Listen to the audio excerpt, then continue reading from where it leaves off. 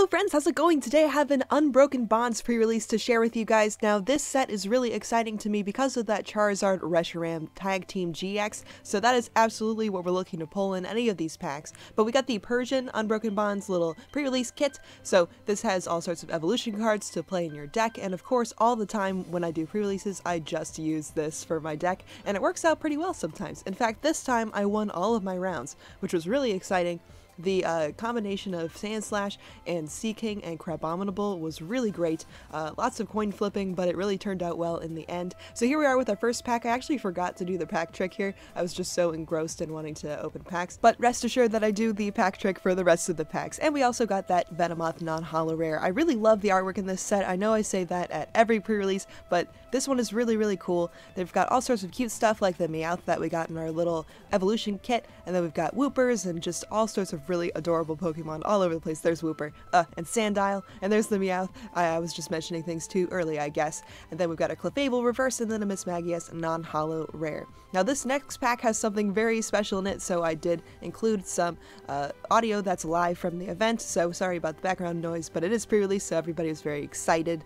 Uh, so we start off normally, of course. We got that Dodrio is really cool. I would think that that would be a rare, but it wasn't. Uh, and then we got Pikachu, very cute, a Goldeen reverse, and then Oh, sweet! I got a rainbow rare. Wait, wait, wait. Who's that? This is Greninja and Zoroark GX. That's awesome. That is so cool. Oh nice. I've never pulled a rainbow rare pre-release before. So yeah, a rainbow rare Greninja and Zoroark tag team GX. I cannot believe it still. And then when I take pictures of it, it's just a brilliant rainbow just shining from this beautiful piece of cardboard. I'm just so excited that I have this rainbow rare. It's the first one I pulled in a, quite a while, so I, I, I just am beside myself, so excited. So this is our last pack of the actual pre-release, and then later we're going to open our last three packs that we get after winning the rounds. So we are back from our pre-release, and we've got our last three packs of Unbroken Bonds to open. We actually got a Charizard Reshiram pack art this time. We didn't get that inside the box for some reason, but I'm not complaining because we got that rainbow rare goodness. So like I mentioned, I did win all of my rounds this time. I was very excited about that. Of course, because it is pre-release, you don't get anything for winning, winning all of your rounds, but uh, Uh, I guess I can have bragging rights and pride. So we've got a, a Grass Energy, a Welder, Lairon, Gliscor, Poliwag, Rhyhorn, Growlithe, Cubone, Riolu, a Meowth Reverse, and then, whoa! I cannot believe this! We got another Rainbow Rare! Two rainbow rares in one video.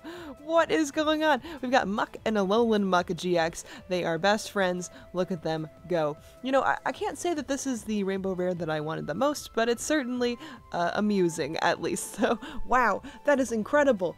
I cannot believe that. That is the most rainbow rares I've pulled from a single set uh, at a whopping two, uh, but it's hilarious that it happened in the same video. So here we go with our second of our three packs. Maybe I should have saved that one for last. So we've got a Fighting Energy, and we have no focus. We've got a Fairy Charm ability, Torracat, a Poliwhirl, Pikachu, Murkrow, Rhyhorn, a Miltank, Slowpoke, a Venonat reverse, and then a rare is a Poliwrath non-holo. That would have been great in my deck. I did put Poliwhirl in there just because I could have a little bit of extra power with one more Pokemon that evolves, but I didn't have a Poliwrath. So here we go with our last pack of the opening. I cannot believe the luck that we've had with these packs though, so really anything can come out of this pack and it'll be great. So we got a Zubat, a Koffing, a Doduo, a Poliwag, Spritzee, Cottonee Reverse, and then our final rare is an Incineroar non-holo. Now that is really cool. I saw some people using this card, and it was really great. So thanks for coming with me on my pre-release journey. I wanted to show you guys too these awesome patches that you got for playing.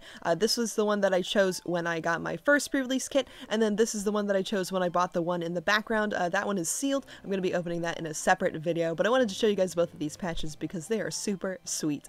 So thanks for watching everybody, and I'll catch you all on the flip side.